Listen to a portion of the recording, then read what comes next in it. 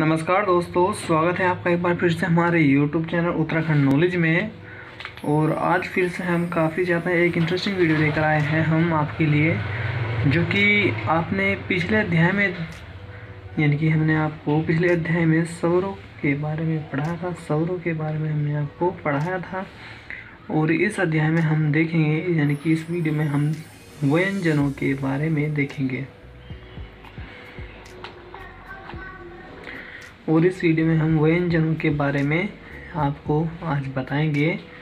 सबसे पहले व्यंजनों के भेद पढ़ लेते हैं। व्यंजनों के भेद देख लेते हैं। सबसे पहले हम व्यंजनों के भेद हेडिंग डालते हैं यहाँ पे और इसके बाद हम लिखते हैं स्पर्श व्यंजन देखो, स्पर्श व्यंजन अगर आपने यह वीडियो पूरी देख ली तो आप स्वर और व्यंजनों को आसानी से याद कर पाएँगे। तो स्पर्श व्यंजन हमारे पास पच्चीस होते हैं भाई। स्पर्श व्यंजन हमारे स्पर्श व्यंजनों की जो टोटल संख्या होती है हमारे पास, वह पच्चीस होती है भाई। और इसमें सबसे पहले हमारे पास क्या वर्ग आता था क्या हो गया ना? क्या, ख, ग क्या वर्ग हो गए हमारे पास? हमारे पास चा वर्ग हो गए हमारे पास। इसके बाद हमारे पास टा वर्ग हो गए हमारे पास। इसके बाद हमारे पास तय वर्ग होता है, पै वर्ग होता है हमारे पास।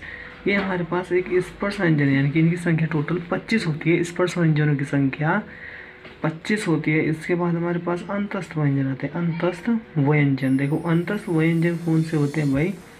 इन्हें अर्धस्वर भी कहा जाता है, अर्धस्वर भी इन्हें कहा जाता है भाई, अर्धस्वर।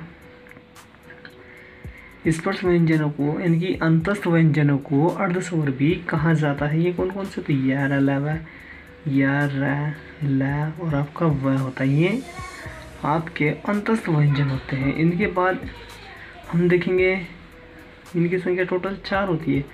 और भाई जो इनमें हमारे पास यह और वह है ना यह और वह हिंदी के पैसिफिक अर्ध स्वर होते हैं। ये पैसिफिक अर्ध स्वर होते हैं, पैसिफिक पैसिफिक पैसिफिक स्वर पैसिफिक स्वर। यानी पैसिफिक अर्ध स्वर होते हैं, भाई पैसिफिक अर्ध स्वर होते हैं, भाई पैसिफिक अर्ध स्वर यह और वह को हम बोलते हैं। पैसिफिक अर्धस्वर हिंदी में पैसिफिक अर्धस्वर दो होते हैं यह और वह और उनतस्त व्यंजन जो अर्धस्वर होते हैं, ये चार होते हैं यह रह, ल और वह। इसके बाद हम यहाँ पे देखेंगे उक्ष्म व्यंजन। उक्ष्म व्यंजन। उक्ष्म व्यंजन। और भाई उक्ष्म व्यंजनों को हम संघर्षी व्यंजन भी कहते हैं। संघर्षी। संघर्षी व्यंजन भी इन्हें कहते हैं। उष्ण व्यंजनों को संघर्षी व्यंजन भी कहा जाता है। इसमें हमारे पास चारों, नहीं, तीनों से आते हैं। तीनों से होते हैं, और एक आता है ह। इनकी संख्या भाई चार हो, चार होती है। तीनों तीनों सा हो गए, एक हा हो गए, चार हो गए। इसके बाद हमारे पास संयुक्त व्यंजन आते हैं। संयुक्त व्यंजन वे होते हैं जो दो व्यंजनों के मेल से बनते हैं ना जो, उन्हें संयुक्त व्यंजन कहते हैं भाई। इसमें मेरे पास अक्ष होता है, त्र होता है, अज्ञा होता है, श्र होता है। देखो, अगर हम बात करते हैं अक्ष अक्ष को हम कैसे बनते हैं अक्षर कैसे खोल के हम इसको लिखेंगे? क प्लस श। पेट पटासा क हो गया ना? क और श मिलाकर अक्षर होता है। अगर आपके पास एग्ज़ाम में क्वेश्चन आता है कि जो पेट पटास है, इससे ये क्या है? किस व्यंजन के बाद आता है यार? वर्णमाला में किस अक्षर के बाद आता है? तो यह क्या वर्ग, क्या के बाद आता है? भाई, त्र, हम इसी प्रकार त्र लिखेंगे। तय प्लस र होता है हमारे पास अज्ञा यज्ञ होता है, यज्ञ प्लस और अज्ञा अज्ञा तो हमारे पास हो गया श्र लिखेंगे श्र, श और र, स प्लस र, इनकी संख्या भी भाई चार होती है। ये हमारे पास हो गए व्यंजन ठीक है भाई? ये हमारे पास व्यंजन हो गए भाई। देखो, संघर्ष, जो स्पर्श व्यंजन होते हैं, स्पर्श व्यंजन इनकी संख्या पच्चीस होती है का वर्ग चाय वर्ग टाय वर्ग तय वर्ग और पै वर्ग होते हैं। अंतस्थ व्यंजन अर्धस्वर इन्हें कहते हैं यार अलावा होते हैं, चार होते हैं यह और वह पैसिफिक स्वर होते हैं। उक्ष्म व्यंजन या संघर्षी व्यंजन तीनों और एक हाथ तय चार होते हैं। संयुक्त व्यंजन, नक्षत्र ये हमारे पास संयुक्त व्यंजन होते हैं। इनके बाद हमारे पास कुछ और कुछ और व्यंजन बचते हैं। जैसे द्विगुण द्विगुण या दीक्षित, द्विगुण या दीक्षित व्यंजन, या इन्हें हम बोल सकते हैं उत्कृष्ट व्यंजन भी इन्हें कहते हैं। भाई उत्कृष्ट व्यंजन उत्कृष्ट व्यंजन भी इन्हें कहते हैं। ये कौन कौन से होते हैं? एक ढ के नीचे बिंदु वाला होता है, एक ढ के नीचे बिंदु वाला होता है ये। द्विगु दीक्षित या उत्कृष्ट व्यंजन होते हैं भाई। इसके बाद हम देखेंगे मूल व्यंजन की संख्या तो हमारे पास तैंतीस होती है भाई। देखो तैंतीस की है, किस तरीके से होती है भाई?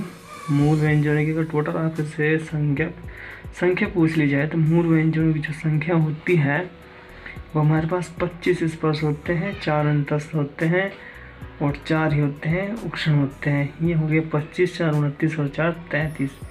इनकी संख्या टोटल तैंतीस होती है भाई। इसमें हमारे पास रा होता जो रा रा होता है, लुंठित व्यंजन होता है, लुंठित व्यंजन लुंठित व्यंजन कहते हैं भाई हम रा को और ला को हम कहते हैं पार्श्विक व्यंजन पार्श्विक व्यंजन लम ला को पार्श्विक व्यंजन भी कहते हैं भाई। इसके बाद हम इसमें देखेंगे प्राण तत्व के आधार पर व्यंजनों के बाद एक टॉपिक हमारे पास बनता है भाई प्राण तत्व के आधार पर। प्राण तत्व के आधार पर। प्राण तत्व के आधार पर। प्राण तत्व के आधार पर देखते हैं भाई। सबसे पहले प्राण तत्व के आधार पर देखने से पहले यहाँ पर इसके दो भेद बनते हैं। प्राण तत्व के आधार पर अल्प प्राण और एक होता है महाप्राण। अल्प प्राण और महाप्राण, ये दो तरह के होते हैं भाई, जो प्राण तत्व के आधार पर अल्प प्राण और महाप्राण।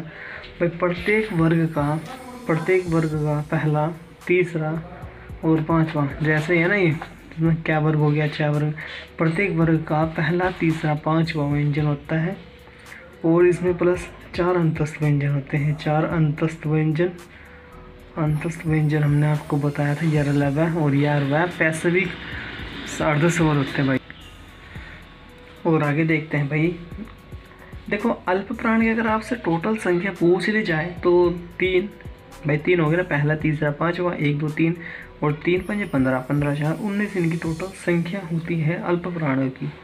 और महाप्राण में देखो, जो बचता है दूसरा चौथा वर्ण, यानी कि प्रत्येक वर्ण का दूसरा चौथा। प्रत्येक वर्ग का दूसरा चौथा वर्ण महाप्राण में गिना जाता है। इसमें प्लस चार उष्ण व्यंजन आते हैं। भाई चार इसमें, हमारे पास उष्ण व्यंजन आते हैं। उष्ण व्यंजन। चार हमारे पास इसमें उष्ण व्यंजन होते हैं। टोटल इनकी संख्या पाँच दो दस चार चौदह होती है भाई। इनमें टोटल जो संख्या होती है, वह चौदह होती है भाई। देखो, आगे देखते हैं हम। आगे स्वर तंत्र के आधार पर हम देखेंगे। इधर ही लिख ले चले चलो यहाँ पे ही लिख लेते हैं हम। देखो। हम्म, स्वर तंत्रियों के आधार पर स्वर्ण तंत्रियों। तंत्रियों स्वतंत्रियों के आधार पर। स्वतंत्रियों के आधार पर। भाई स्वर तंत्र के आधार पर देखते हैं भाई। प्राण तत्व के आधार पर तो हमने यहाँ पे देखा। अब यहाँ पे स्वर तंत्रियों के आधार पर हमारे पास इसके दो भेद होते हैं। अघोष उसमें सघोष या घोष अघोष या घोष और देखो इसमें अघोष कौन से होते हैं भाई अघोष इसमें होते हैं पहला प्रत्येक वर्ग का पहला दूसरा भाई प्रत्येक वर्ग का पहला दूसरा अघोष अघोष को हम ऐसे याद करेंगे ऐसा शुरू का अक्षर ना एक पहला अक्षर है पहला और दूसरा अघोष होता है और घोष में जो बचते हैं तीसरा चौथा पांचवा तीसरा चौथा पांचवा अघोष में पहला और दूसरा हो गया प्लस इसमें भाई प्लस इसमें चार उष्ण व्यंजन जोड़ते हैं। उष्ण व्यंजन प्लस चार उष्ण व्यंजन। चार इसमें हमारे पास उष्ण व्यंजन होते हैं प्लस ग्यारह इसमें स्वर होते हैं। ऐसे मिलाकर इनकी पाँच दो दस चार चौदह चौदह और एक पंद्रह। भाई पाँच दूनी दस और चार चौदह। चौदह और एक पंद्रह, पच्चीस भाई इनकी टोटल संख्या होती है पच्चीस। इसी तरीके से घोष घोष में तीसरा, चौथा, पाँचवा आता है ना प्लस चार इसमें अंतस्थ व्यंजन होते हैं। चार इसमें अंतस्थ व्यंजनों को हम जोड़ देते हैं तो इसकी संख्या पाँच तीन पंद्रह चार, उन्नीस हो जाती है भाई। इसकी टोटल संख्या उन्नीस हमारे पास हो जाती है। हमने व्यंजनों के भेद पढ़े आज हमने व्यंजनों के भेद में स्पर्श व्यंजन पच्चीस होते हैं। क्या वर्ग चार, टाइपा टाइपा कचटा तो होता है। अंतस्थ व्यंजन में यह अलावा यह और वह हमारे पास पैसिफिक अर्धस्वर होते हैं। उक्ष्म व्यंजन तीन में स और एक है संयुक्त व्यंजन में क्षत्र अज्ञा जगह और अक्षर कैसे बनता है तरह कैसे बनता है, यज्ञ कैसे बनता है?